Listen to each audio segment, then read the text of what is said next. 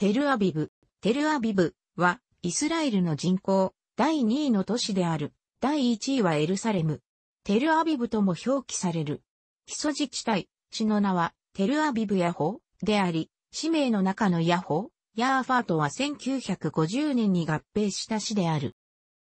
イスラエルの経済、文化の中心地かつ、中東有数の世界都市。イスラエル政府は、エルサレムが首都であると宣言しているが、国際社会はこれを認めておらず、各国がテルアビブに大使館を置くなど、テルアビブを事実上の首都とみなしている。イスラエルの西側地中海に面する地域に位置するテルアビブ都市圏、グッシュダンはイスラエル最大の都市圏である。2010年の都市圏人口は268万人であり、同国の人口約700万のおよそ40%が集中している。行政管轄面積は 50.6km。人口密度は1キロ平方あたり7445人。イスラエル中央統計局による国勢調査によると2006年現在、総人口は38万人であり、人口増加率は0.9%である。イスラエル経済の中心であり、2014年にアメリカのシンクタンクが公表したビジネス、人材、文化、政治などを対象とした総合的な世界都市ランキングにおいて世界第54位の都市と評価されており、西アジアの都市ではドバイに次ぐ第2位であった。アズリエリセンターなどの超高層ビル、国際級のホテルも立ち並び、中東のヨーロッパとして政治や経済の中心地として発展を続けている。高級宝石類などショッピングも充実した都市で観光や経済の中心地であるが、治安は良い。世界でも有数の芸に優しい街として同性愛者に人気がある。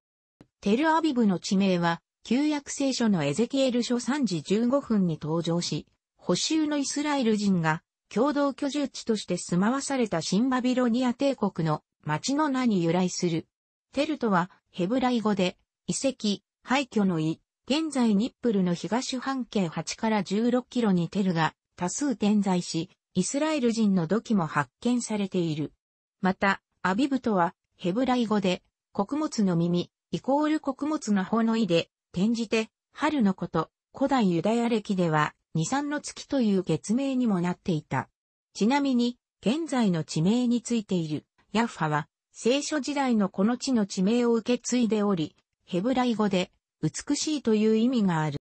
20世紀初頭までは古代港湾都市ヤーファーに隣接する海沿いの砂丘に過ぎなかったが、ヤーファーの港と町に対抗する入植したシオニストユダヤ人自らの港と町を建設すべく、テルアビブの建設は戦略的に進められた。この町はまさに無知猛昧な東方に抗する白色の砦であり、イスラエル人建築家、ロトバードはこの町の歴史はいかにしてユダヤ人が白人となったかを明確に説明してくれると述べている。1948年5月14日、テルアビブにおいてイスラエル国家樹立が宣言された。この国家樹立宣言が第一次中東戦争に発展した。イスラエル建国初期は首都機能をテルアビブに置いていたが、イスラエルは西エルサレムを占領して1950年に首都機能を西エルサレムに移転。1967年にイスラエルは東エルサレムを占領、併合し、1980年に統一エルサレムはイスラエルの永遠の首都と宣言し、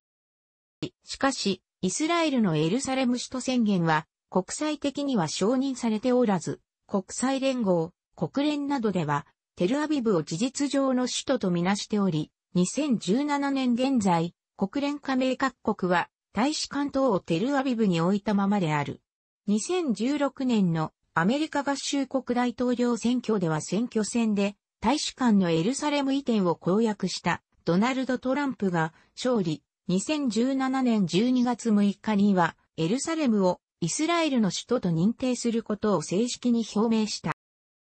地中海に接するエリアは欧米から多くの観光客が訪れ、ナイトクラブやバーが立ち並ぶ世界屈指のリゾート地である。市中心部には放送局や巨大ショッピングモールなどのほか、ハビマー劇場、ヘレナ・レビンシュタイン博物館、イスラエル国防軍本部、リクード、労働党本部や情報機関のモサッドや、シャバック部などの他に報道、商業、政治などの主要機能が集中する。ハメディナ広場周辺の地域は、白亜建造物が並ぶ計画都市で、白い都市として世界遺産に登録されている。ハヤルコン川より北側の地域には、国内専用のスデドブ空港、イスラエル博物館や学問の中心、テルアビブ大学があり、ラマトアビブと呼ばれる高級住宅地もある。地中海性気候、 Csa に分類される。夏の最高気温は30度前後。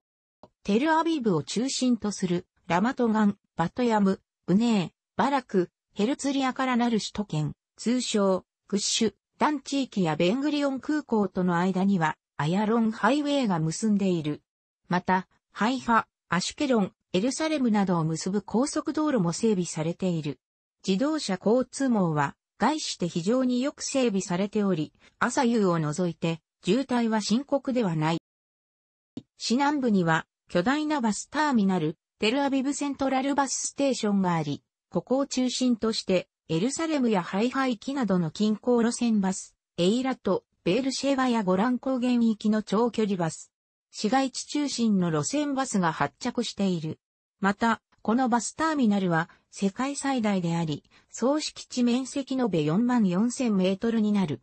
ショッピングモールも兼ね備えており、6階建ての立体構造で種類別にバスが発着している。鉄道網は中央駅を中心として、ハイファ、リションレツィオン、ベールシェバ、エルサレム、クフェルサバなどを結んでいる。特に地中海沿いの路線は高速化が施され、快速でハイファまで1時間、ベングリオン国際空港までは30分弱である。近年中の開通を目指して地下鉄網が計画されている。市内中心部から南東に位置するロッドにある国内最大のベングリオン国際空港がある。ベングリオン空港は国際線空港であり、市内北部にあるスデドブ空港は国内線の空港である。日本からの直行便はないが、LR 航空の直行便が就航している香港、北京、バンコク、もしくはフランクフルトやパリなどのヨーロッパの各都市を経由していくことができる。楽しくご覧になりましたら、購読と良いです。クリックしてください。